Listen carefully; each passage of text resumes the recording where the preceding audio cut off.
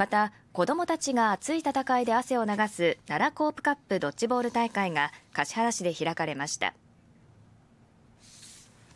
この大会は運動が苦手な子どもでも気軽にできるドッジボールを楽しんでもらおうというものです。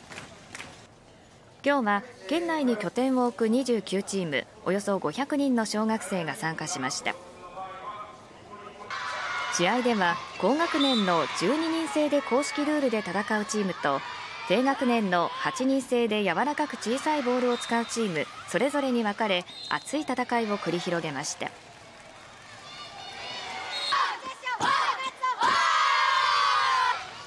中でも先月行われた県予選で優勝し全国大会に出場予定のチームはあうんの呼吸で守備を固めながら鋭い攻めの姿勢で次々と相手チームを倒していきました。